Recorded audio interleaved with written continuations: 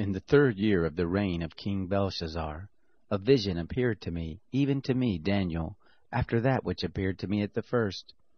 I saw in the vision, now it was so, that when I saw I was in Shushan the palace, which is in the province of Elam, and I saw in the vision, and I was by the river Ulai. Then I lifted up my eyes and saw, and behold, there stood before the river a ram which had two horns, and the two horns were high but one was higher than the other, and the higher came up last. I saw the ram pushing westward, and northward, and southward, and no animals could stand before him, neither was there any who could deliver out of his hand.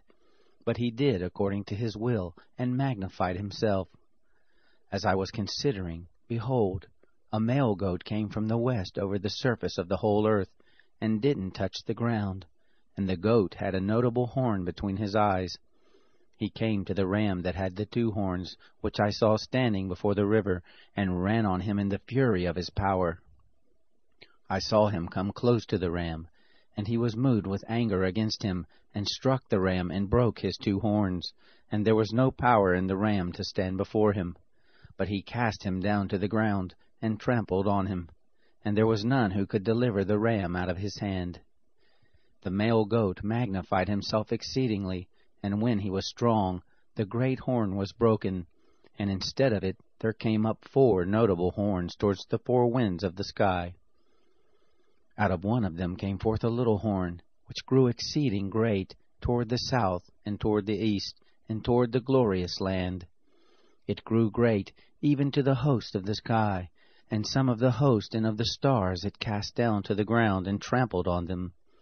Yes, it magnified itself, even to the prince of the host, and it took away from him the continual burnt offering, and the place of his sanctuary was cast down.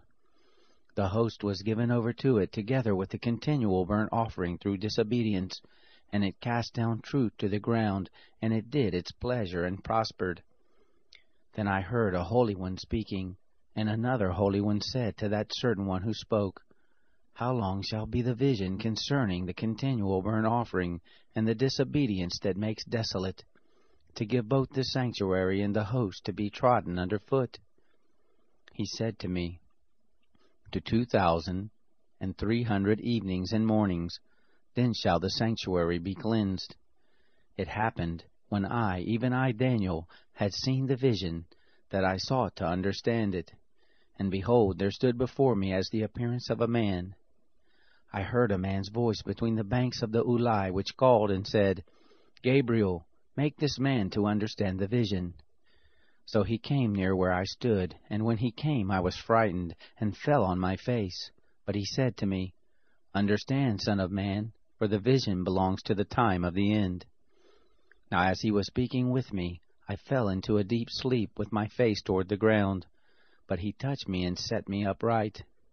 He said, Behold, I will make you know what shall be in the latter time of the indignation, for it belongs to the appointed time of the end. The ram which you saw that had the two horns, they are the kings of Media and Persia. The rough male goat is the king of Greece, and the great horn that is between his eyes is the first king. As for that which was broken, in the place where four stood up, four kings shall stand up out of the nation, but not with his power in the latter time of their kingdom, when the transgressors are come to the full, a king of fierce face and understanding dark sentences will stand up. His power will be mighty, but not by his own power. And he will destroy wonderfully, and will prosper and do his pleasure. And he will destroy the mighty ones and the holy people. Through his policy, he will cause craft to prosper in his hand, and he will magnify himself in his heart, and in their security he will destroy many. He will also stand up against the prince of princes, but he will be broken without hand. The vision of the evenings and mornings which has been told is true, but seal up the vision, for it belongs to many days to come.